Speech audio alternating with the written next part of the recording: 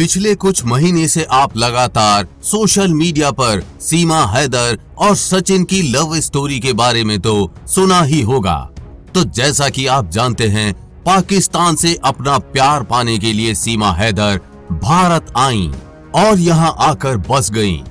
लेकिन सवाल है कि क्या वास्तव में सचिन के प्यार के लिए भारत आई हैं या फिर सीमा हैदर का इसके पीछे कोई और मकसद है इस बीच काफ़ी लोग सवाल भी उठा रहे हैं कि वो भारत में जासूसी करने आई है।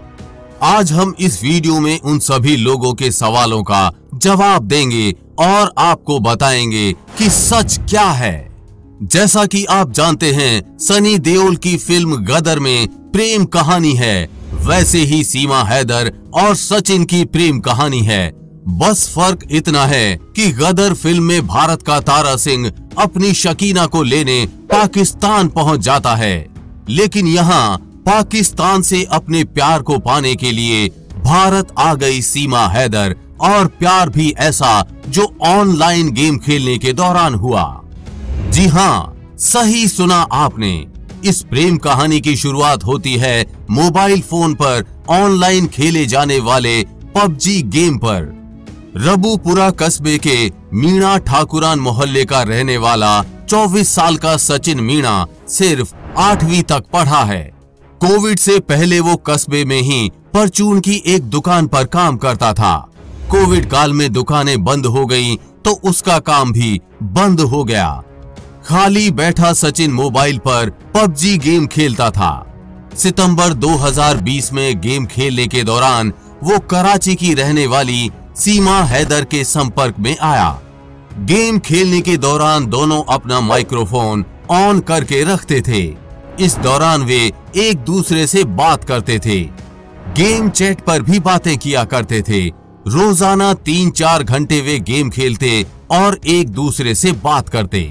कराची की रहने वाली सीमा हैदर शादीशुदा हैं और उसके चार बच्चे हैं। सीमा हैदर ने खुद बताया है कि वो दक्षिणी पाकिस्तान के खैरपुर में रिंद हाजानो गाँव की रहने वाली है। वो 12 साल की ही थी जब उसकी माँ की मौत हो गई। 17 साल की उम्र में परिवार वालों ने 2014 में गुलाम हैदर जखरानी से उसकी ज़बरदस्ती शादी कर दी। शादी के बाद दोनों कराची चले गए। 2016 में उनका पहला बेटा फरहान और बाद में तीन बेटियाँ पैदा हुईं।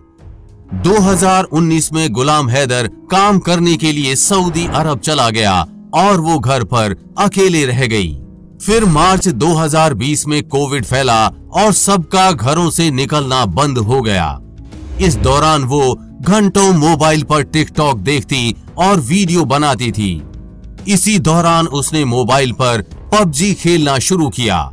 पबजी ने उसे गेम खेलने के साथ ही दुनिया भर के लोगों से बात करने की आज़ादी भी दी। इस दौरान उसके संपर्क में कई लोग आए। उनमें सचिन से उसकी खास दोस्ती हो गई। सीमा ने उसे बच्चों से वीडियो कॉल पर मिलवाया, जब किसी वजह से सीमा उससे फ़ोन पर बात नहीं कर पाती थी। इस बीच दिसंबर 2020 में सीमा के पिता की मौत हो गई। सचिन उससे मिलकर सांत्वना देना चाहता था। इसके लिए उन्होंने गदर फ़िल्म के बारे में बात की कि कैसे बाधाओं के बीच भी भारत में रहने वाला लड़का पाकिस्तान में रहने वाली लड़की से मिलता है। इसलिए उन्होंने भी सभी कठिनाइयों के बीच मिलने का फैसला किया। उन्होंने नेपाल में मिलने का फैसला किया। सचिन ने 8 मार्च को कश्मीरी गेट से काठमांडू के लिए बस पकड़ी। उधर सीमा ने शारजाह होते हुए काठमांडू के लिए फ़्लाइट ली। 10 मार्च को दोनों काठमांडू पहुँच गए। सबसे पहले दोनों ने गदर फ़िल्म देखी और अगले दिन पशुपतिनाथ मंदिर में शादी कर ली। एक हफ़्ते तक वे काठमांडू में पति पत्नी की तरह रहे। सीमा ने माथे पर सिंदूर लगाकर भारतीय पहनावे में फ़ोटो खिंचवाए और इंस्टाग्राम पर वीडियो अपलोड किए। इसके बाद वो पाकिस्तान लौट गई। सीमा के नाम पर एक घर था। करीब 12 लाख पाकिस्तानी रुपए में उसका घर बिक गया। इसके बाद उसने अपने और अपने बच्चों के लिए काठमांडू के टिकट खरीदे और 10 मई को फ़्लाइट पकड़ ली। काठमांडू पहुंचकर उसने वहाँ से पंद्रह हज़ार रूपए में दिल्ली के लिए एक प्राइवेट बस में अपने और बच्चों के चार टिकट बुक किए। उसे डर था कि कहीं वो पकड़ी ना जाए। कंडक्टर ने सीमा से पूछा, कहाँ से हो आप? सीमा ने कंडक्टर को अपना नाम, सीमा और पति का नाम, सचिन मीणा बताया। ठकुराइन होने की बात बताने पर कंडक्टर ने कुछ नहीं पूछा और वो दिल्ली पहुँच गए। कश्मीरी गेट से जेवर के लिए बस ली और रबुपुरा में फलेदा कट पर उतर गए, जहाँ सचिन उनका इंतज़ार कर रहा था। सीमा के वहाँ पहुँचने से पहले ही उसने सारी तैयारी कर रखी थी। उसने अपने घर से करीब एक किलोमीटर दूर किराए पर अप्रैल में ही एक कमरा ले लिया था। इसके बाद वे करीब डेढ़ महीने तक साथ रहे। दिन में सचिन परचून की दुकान पर काम करता था, शाम को पैतृक घर पर रहता और रात को सीमा के पास आ जाता था। इस दौरान सीमा का पड़ोस में रहने वाली महिलाओं से परिचय हो गया। किसी को उस पर शक नहीं हुआ, लेकिन फिर उसे बच्चों की पढ़ाई की चिंता होने लगी। लिहाजा पहचान पत्र बनवाने के लिए 29 जून को बुलंदशहर में एक वकील से मुलाकात की गई। सचिन ने वकील से कहा कि वो मुस्लिम महिला से शादी करना चाहता है। इस पर वकील ने कहा कि स्पेशल मैरिज एक्ट के तहत इसमें कोई दिक्कत नहीं है। लेकिन जब उसने सीमा के दस्तावेज़ देखे तो वो उनमें पाकिस्तानी पासपोर्ट देखकर दंग रह गया। अगले दिन रबुपुरा की आम्बेडकर नगर कॉलोनी में जब तक पुलिस उन्हें पकड़ने पहुँचती, वे दोनों बच्चों को साथ लेकर उससे पहले ही वहाँ से निकल चुके थे। पलवल के रास्ते में पुलिस ने उन्हें वल्लभगढ़ में पकड़ लिया।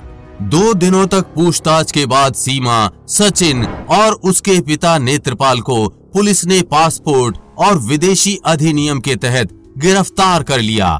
बच्चे भी जेल में, सीमा के साथ ही रहे। हालाँकि एक दिन बाद उनके वकील ने जमानत करा दी। अगले दिन 8 जुलाई को सीमा और सचिन को भी जमानत दे दी गई। जज ने उन्हें कहा कि वो अपना पता न बदलें और देश न छोड़ें। सीमा ने सचिन के पैतृक घर का पता दे रखा था तो दोनों जमानत के अगले दिन से फिर पैतृक घर में आ गए। जेल से जमानत पर रिहा होने के बाद खुद सचिन का भाई अपनी कार से सभी को लेकर घर आया। पाकिस्तानी बहू लाने पर सचिन के घर वालों को उस पर गर्व है। कस्बे के ज़्यादातर लोगों ने भी सराहना ही की है। हालाँकि कुछ लोग सोशल मीडिया पर उठाए जा रहे सवालों से दुविधा में हैं। उधर सीमा के पति गुलाम हैदर ने पीएम नरेंद्र मोदी से अपील की है कि उसकी पत्नी को वापस पाकिस्तान भेज दिया जाए। उसने सीमा के साथ जबरन निकाह करने की बात को नकारा है। उसका कहना है, दोनों ने घर से भागकर लव मैरिज की थी और इसका इकरारनामा भी उसके पास है। सीमा का कहना है कि अगर वो वापस लौटी तो वहाँ के लोग उसे पत्थर मारकर मार डालेंगे। उसने पूरी तरह से हिंदू धर्म अपना लिया है और वो जैसा सरकार चाहेगी, वैसा ही करेगी। वो भले ही यहाँ की जेल में रह लेगी, लेकिन वहाँ वापस नहीं जाएगी। आपका सीमा हैदर और सचिन की इस लव स्टोरी पर क्या कहना है? हमें अपनी राय कमेंट करके ज़रूर बताएँ।